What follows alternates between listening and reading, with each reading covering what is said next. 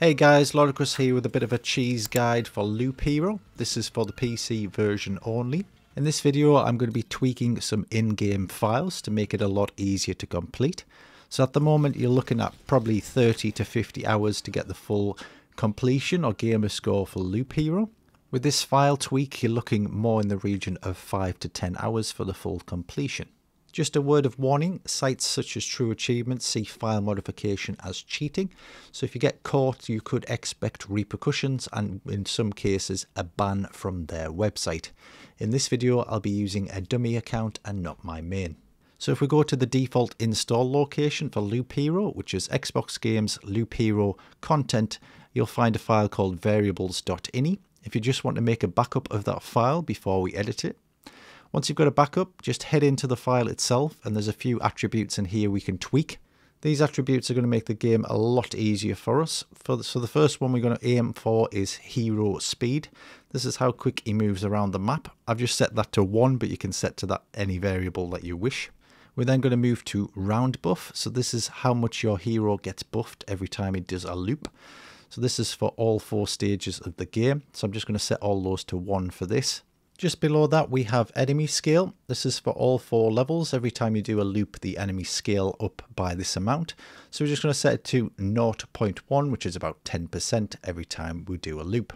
The next variable we're looking for is EXP start and EXP scale. This is in relation to your hero leveling up. EXP start is how much EXP you need to first level up. So we're going to set that to something daft like 1 and then EXP scale to 1 as well. So as soon as you start the loop, you'll only need 1 XP. And uh, so once you kill your first enemy, you'll level up straight away. And then it'll scale by 1. So the next time you level up, it'll be on 2 XP, etc, etc. So by the time you've done one loop, you've probably fully upgraded your hero and got all the abilities. The next attribute we're looking for is supplies leave. So once you've found that, you'll see that it's currently set to 10%. Every time you do a loop, you'll drop off 10% of your resources to the camp. We're going to change that to 1, so it's going to be 100%. So every time you do a loop, you'll drop all the loot off, meaning that if you do die during your loops, you won't lose any resources and bring everything home.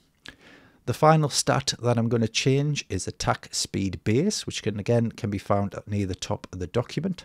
Setting this will give you your base attack speed when you first start your loop. By default it's currently set to 1 but we're going to change that to something stupid like 100 so you're going to be attacking really quickly and the enemies won't have any chance to retaliate, including the bosses which are killed pretty quickly.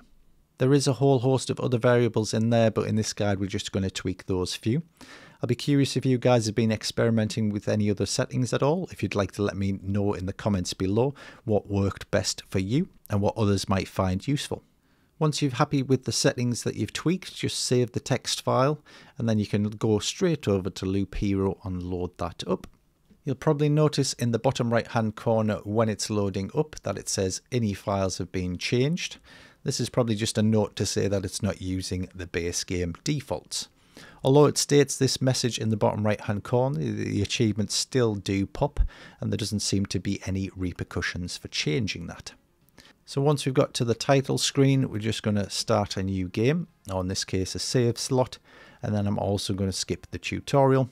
There is achievements for the tutorial, so just make sure that you do do the tutorial if you are going for the full completion. We're then just going to quickly build the camp, and then we can start our first expedition. You'll instantly notice that I'm going to be running around one-shotting all enemies. As we start, it's probably worth noting that you can go into the options menu and tweak the pause settings. By default, these are normally turned on, so every time your hero does a fight or a full loop, it normally pauses, giving you time to place tiles or equipped equipment. But in this case, we're just going to turn all the pauses off and you can just kind of leave it running. And he's just going to go round and round the map, killing all the creatures, gathering all the loot and the tiles, and then every so often just make sure you equip some items so he doesn't die. And also stick a few tiles down to make sure that you do start gathering resources etc etc but if you have played loop hero previously you probably note that it probably takes you maybe in the region of 10 to 15 attempts to complete the first level usually because it is so difficult it's normally a case of dying gathering resources leveling up your character or your camp a little bit, rinsing and repeating, slowly building up momentum before you can finish the level. But with these file tweaks, you should be able to whiz through all the levels first try without any issues. Although you are OP and you can probably whiz through the first four levels without even dying, there is a number of achievements that involve you fully upgrading your base camp, for example, which is going to involve gathering a hell of a lot of resources and doing a lot of loop runs. But if you've played Loop Hero before, you'll note that this is dramatically a lot quicker than actually going for the full completion with the standard default settings. In terms of commentary, that's about it from me. I'm going to let the rest of this video play out. It'll show you this full level 1 being complete with relatively ease, including the end boss, including showing you that the achievements do pop even with the tweaked file.